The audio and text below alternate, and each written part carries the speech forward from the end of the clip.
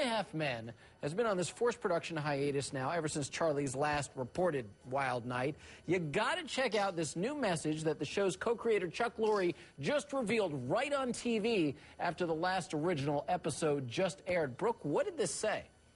It said a lot, AJ. Look at this. I exercise regularly. I eat moderate amounts of healthy food. I make sure to get plenty of rest. I see my doctor once a year and my dentist twice a year. I floss every night. I've had chest x-rays, cardio stress tests, EKGs, and colonoscopies.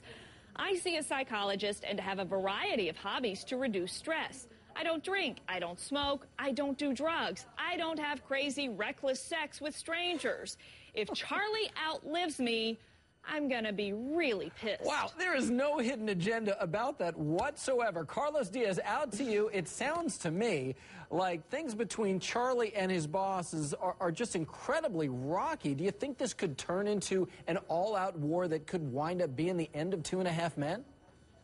Now, AJ, you know better than anybody. You've interviewed Charlie before. Charlie gets a joke, and he understands and appreciates a joke. And that's what this is. It sounds like a joke, if you ask me, because it's really funny and it's really honest, and that's what we strive for. We always want honesty in this business, and that's what's happening here. The producers are being honest, and they're saying, you know what, we're as healthy as can be. We're going to be mad if Charlie Sheen happens to outlive us. And Charlie, I think, is going to get this joke and be fine with it. I also think it's a bit of tough love, making sure that Charlie really knows that they know exactly what's going on and that the audience knows exactly what's going on, because I think that's been lost on Charlie quite a bit. And obviously, there's a lot of money at stake here. And last night's show, hey, still number one, of course. Now, Shaunie, you know all about on-set drama with your show Basketball Wives. What do you think? Could this kind of drama between the bosses and the star be the final unraveling of the biggest sitcom on TV?